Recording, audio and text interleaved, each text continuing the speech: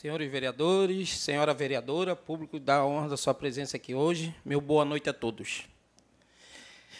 Senhores vereadores, é começo do ano, do, do ano passado, eu vi vários vereadores subirem para essa tribuna e falar que não havia fiscalização nas obras antes. Repetindo a falar, como se toda obra durasse para sempre. É, vou dar um exemplo, o vereador Luan conhece bem lá, a nossa rua Amaro Manuel Faria, lá em Alto Biguaçu, uma obra licitada pela, pela gestão passada, é, e que teve um problema lá com terraplanagem, com, com, com um morador de Biguaçu que tem uma terraplanagem lá, e acabou com a rua que já era asfaltada.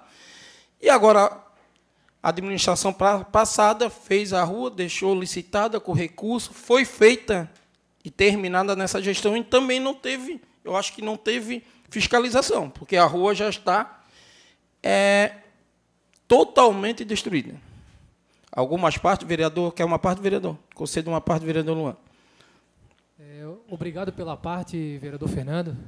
Nós, como moradores lá do bairro Santa Catarina, sabemos da briga que foi né, a cobrança que foi para conseguir a repavimentação daquela rua que foi destruída é, pelas caçambas é, que acessam a barreira é, empresa JL Vieira Comércio de Terraplanagem. Apenas essa empresa está é, sendo beneficiada com, é, com a falta de fiscalização, com a falta de proibição daquelas caçambas passarem lá naquela rua. Inclusive, eu como vereador, entrei com uma ação popular na justiça contra a empresa e também contra a prefeitura para poder é, conseguir uma medida, é, uma decisão judicial para que essa empresa seja proibida de transitar com os caminhões lá naquela rua. A, a, a ação está tramitando na justiça, ainda não tivemos decisão, mas se Deus quiser, né, levei ao juiz todas as provas, as provas de como estava a rua, de como ficou e de como está ficando porque a falta, é, não sei se de fiscalização, mas a falta de providências é, para proibir essa rua, é, de, o trânsito de caminhões nessa rua precisa ser tomada o quanto antes, antes que ela fique de novo do estado que ficou e a prefeitura tenha que gastar aí é, é, um, recursos né, do, do, do, do da população para pavimentar novamente aquela rua. Obrigado, vereador, por tocar nesse assunto. Vamos é, junto nessa luta aí, pode contar comigo. Vereador Luan, a gente até fez reunião nessa casa com a empresa, com a prefeitura. E eu até achei um absurdo quando foi tirado da prefeitura só a prefeitura refazer aquela rua. A gente deu a ideia de fazer o acesso direto é para sair na SC. Ele não quis acatar, não foi feito, e agora foi feita a rua e está sendo destruída de novo, vereadores. Vereadores, é, eu e o vereador Chapecó hoje demos uma volta para o interior e um dos nossos pontos foi a estiva. Hipocrisia, como já foi falado aqui nessa tribuna, é ir lá há um ano fazer a reunião com a comunidade, com a liderança da comunidade, prometer várias coisas e não cumprir. Nosso prefeito Salmi, juntamente com o nosso vice-prefeito e com vereadores dessa casa, fizeram uma reunião no centro comunitário e prometeram várias coisas. Nada foi cumprido. Hoje, eu e o vereador Chapecó conversamos com o líder comunitário lá. O posto da estiva foi reformado há dois anos e meio, três anos atrás, mas está totalmente destruído novamente. Não tem dentista, está lá um consultório, cadeira mais linda, vereador Maneca, montadinho, e, e simplesmente o secretário falou que lá não precisa de dentista. A população da estiva é uma população grande. É, o que mais? O médico só vai quarta-feira, isso é normal, claro, para atender, mas não tem uma enfermeira e uma técnica. As duas agentes de saúde daquela comunidade não podem sair de dentro do posto, porque elas têm que manter o posto aberto, mas elas não sabem fazer um curativo, e nem a função delas, não sabem medir uma pressão, e não é função delas. Ficam lá no computador, não conseguem atender as famílias na rua, visitar, porque não podem sair do posto de saúde. Então fecha o posto e abre só quarta-feira. Para que, que o posto de saúde da Estiva está aberto a semana toda? Gastar luz, internet, computador? Outra reclamação. No outro mandato tinha internet para todos, aquele programa que a prefeitura tinha. Acabaram com esse programa. Tem internet lá para a comunidade gratuita. Simplesmente foi tirada. E com a tirada da internet da câmara da associação, foi roubado freezer, micro-ondas, daquela associação novinha que foi feita no, no ano retrasado.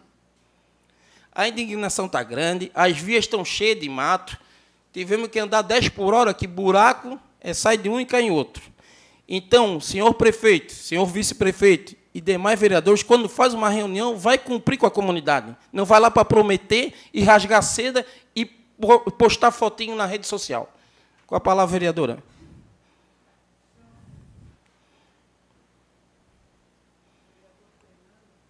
Vereador Fernando, parabéns, né? Parabéns aí pelas suas idas junto com o vereador Chapecó.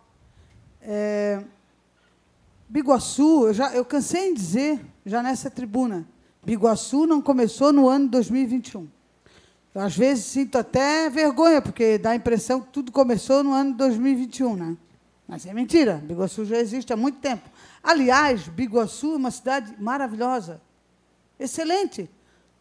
Todos, indistintamente, todos os, seus gestores têm pontos positivos e pontos negativos. Mas há de se destacar que todos que lá estão têm que fazer as suas ações. Não adianta achar que vão blindar, que, que algumas pessoas empoderadas no município vão conseguir blindar, porque não vão conseguir. Está ficando chato, está ficando feio essa história. O posto de saúde lá da Estiva, exemplo de outros, foram construídos em outras gestões e que precisam não somente das reformas, das limpezas, dos tratamentos ideais para que não criem mofo, porque não é só a mulher, a mulher da limpeza que tem que tratar, é o pessoal também dos serviços gerais que tem que ver se não há infiltração, enfim, a manutenção dele. Nós temos que ter médico.